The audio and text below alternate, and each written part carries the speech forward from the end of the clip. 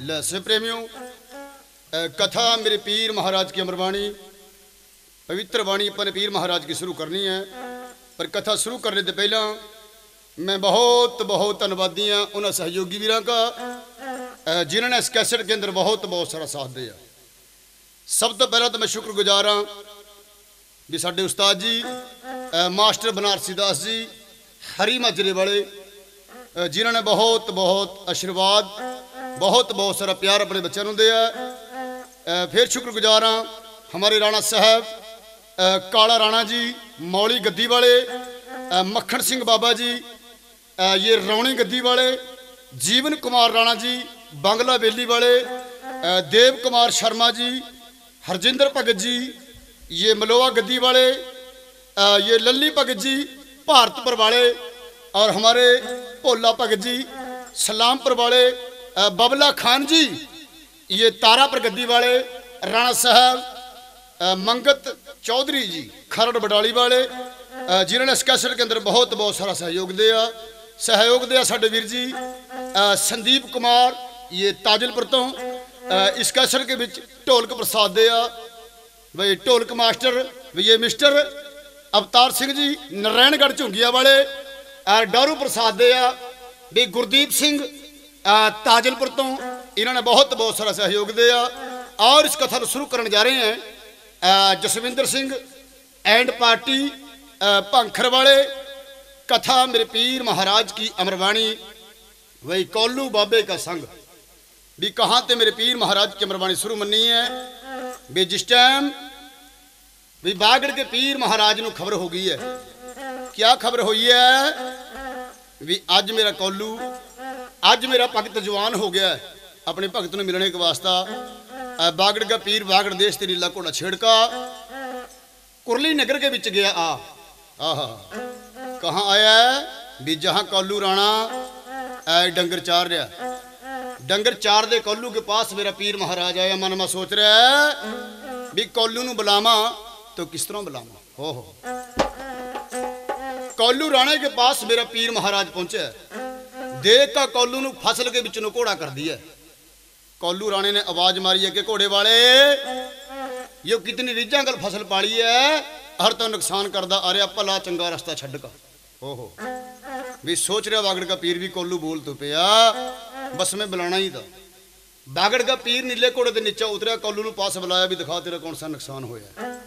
ਵੀ ਜਿਸ ਟਾਈਮ ਦੇਖਿਆ ਕੋਲੂ ਰਾਣੇ ਨੇ, ਵੀ ਜਹਾਨ ਘੋੜਾ ਆਇਆ ਤੇ ਨੁਕਸਾਨ ਹੋਣਾ ਤੋਂ ਦੂਰ ਕੀ ਬਾਤ ਹੈ ਵੀ ਸਜਣ ਪ੍ਰੇਮਿਓ ਯੂ ਕਹਾ, ਵੀ ਘੋੜੇ ਕੀ ਪੈੜ ਵੀ ਨਜ਼ਰ ਨਹੀਂ ਆਈ।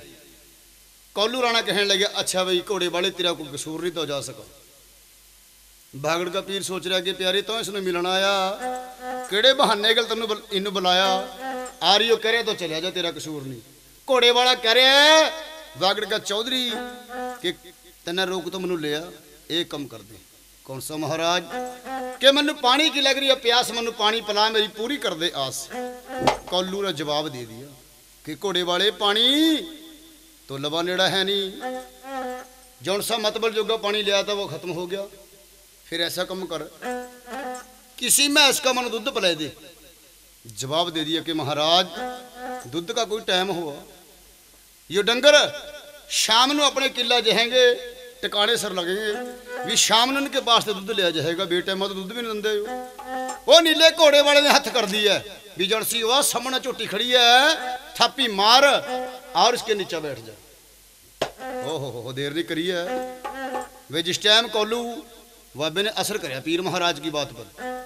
ਵੀ ਮਾਰ ਕਾ ਥਾਪੀ ਜਿਸ ਟਾਈਮ ਔਸੜ ਝੋਟੀ ਕੇ ਨੀਚੇ ਬੈਠਿਆ ਬਸ ਨੂੰ ਹੱਥ ਲਾਣੇ ਕੀ ਦੇਰ ਦੀ ਬਸ ਸਜਣ ਪ੍ਰੇਮਿਓ आज दूध का छन्ना पर का बागड़ के पीर महाराज के पास आ गया और जिस टाइम पीर महाराज पर आया भाई कौलू कौलू बाबे ने मेरे पीर महाराज ने दुध पिलाया वे देर नहीं करी है दुध बागड़ के पीर ने जिस टाइम पिया और सजन प्रेमियों एक कुट भरी है उसके बाद कौलू राणे ने पीर का बचे हुआ दुध जिस टाइम पिया वो ज्ञान प्रगट कौलू राणे के अंदर हो गया कौलू राणा पूछ रहा कि घोड़े वाले जौनसी महस ने तेने दुध दवाया आर ना कदे सुई भी तैं इसके पास से किस तरह दुध पैदा कर दिया पीर महाराज कह रहा है ये तो कम तो भी कर सका वह किस तरह भी यहाँ एक छोटा जा मेरे नाम का दरबार बनवा दे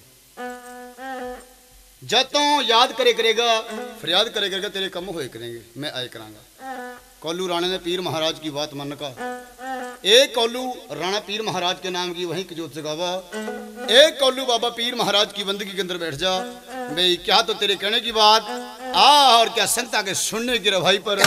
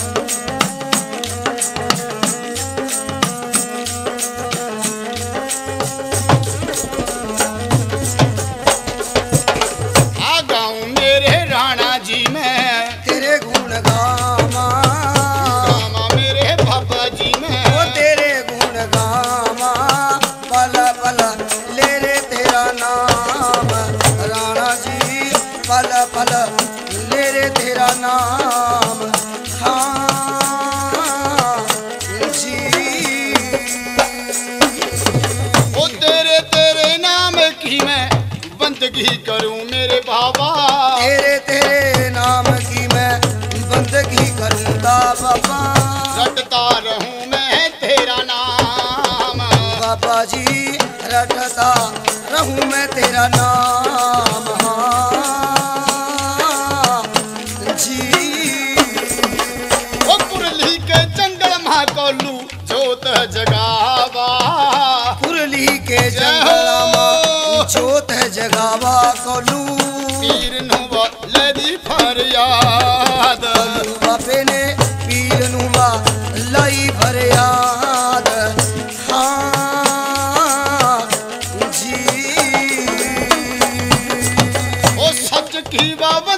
ਕੋਲੂ ਤੀਰ ਕੀ ਕਰਾ ਮੇਰੇ ਰਹਾਣਿਓ ਸੱਚੀ ਸੱਚੀ ਬੰਦਗੀ ਕੋਲੂ ਕਰਾਤਾ ਕਈਏ ਉਹ ਤਾਂ ਜਗਾਵਾ ਕੋਲੂ ਆਪ। ਦੁਨੀਆ ਮਾ ਕੋਲੂ ਜਗਾਵਾ ਕਈਏ ਜੋਤ। ਹਾਂ ਜੀ। ਉਹ ਦੇਰ ਨਹੀਂ ਕਰੀ ਹੈ ਕੋਲੂ ਬਾਬਾ ਪੀਰ ਮਹਾਰਾਜ ਕੇ ਨਾਮ ਕੀ ਜੋਤ ਲਾਗਾ ਪੀਰ ਮਹਾਰਾਜ ਕੀ ਬੰਦਗੀ ਕਰਨ ਬੈਠਿਆ। ਉਹ ਗਾਉਂ ਵਾਲੇ ਵਜੇ ਕਾ ਕੌਲੂ ਰੌਣੇ ਨੂੰ ਮਖੌਲ ਕਰਨ ਲੱਗੇ ਆ। ਕਿਉਂਕਿ ਕਦੇ ਭਗਤਾਂ ਨੂੰ ਮਜ਼ਾਕ ਨਹੀਂ ਕਰਨਾ ਚਾਹੀਦਾ। ਲਿਖਿਆ ਕਿਸੇ ਕਵੀ ਨੇ ਵੀ ਜੋ ਮੂੰਹ ਤੋਂ ਭਗਤ ਗੱਲ ਕਰਦੇ ਉਹ ਫੈਸਲੇ ਅਖੀਰ ਹੁੰਦੇ ਨੇ। ਅੱਜ ਵੀ ਜਿਹੜੀ ਬਾਤ ਭਗਤ ਕਹਦੇ ਆ ਪੂਰੀ ਹੋ ਜਾ ਸੱਚੀ ਬੰਦਗੀ ਕਰਨੇ ਵਾਲਿਆਂ ਦੀ। ਵਾਹ ਜੀ ਵਾਹ। ਜੋ ਮੂੰਹ ਤੋਂ ਭਗਤ ਗੱਲ ਕਰਦੇ ਉਹ ਫੈਸਲੇ ਅਖੀਰ ਹੁੰਦੇ ਨੇ।